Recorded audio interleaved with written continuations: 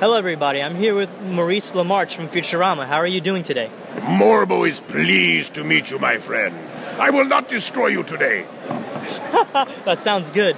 My first question is why was Futurama canceled again?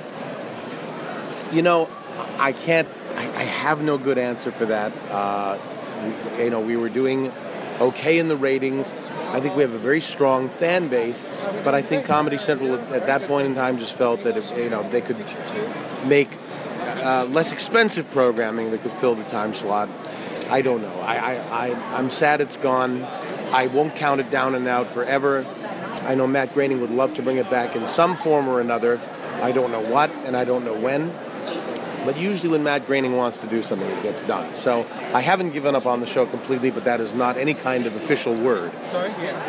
All right. And to follow up on what Matt Gr- Browning said. Uh, Groening. Groening. Very My important. Yep. Matt, Matt Groening said, would you prefer like a, like a sort of series spin-off Futurama or a movie like how they did with Beast with a Billion Backs and Into the Wild Green Yonder?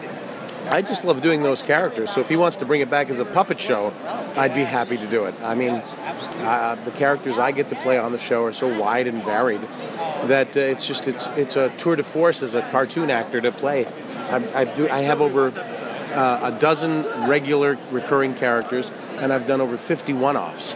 So it's just a chance to stretch and read and, and, and perform some of the best written comedy on television.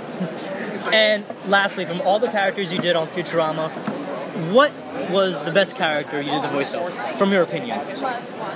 I really love Kif Kroker because Kif speaks to all to that part in all of us who's had a bad boss or been you know in a bad marriage or a bad relationship, and you know the Kif sigh is just it embodies all all put upon us that every one of us feels. You know when when Kif goes, we all relate to. Ugh. So that is the. Uh, and yet I love that I love that Kif has this romantic side. You know that he's he's courted Amy. You know he started out as just kind of an eye rolling sidekick, and then he became you know a, a romantic character. So I love him. I love Calculon, the star of all my circuits, because he represents all of my narcissism rolled into one metal ball.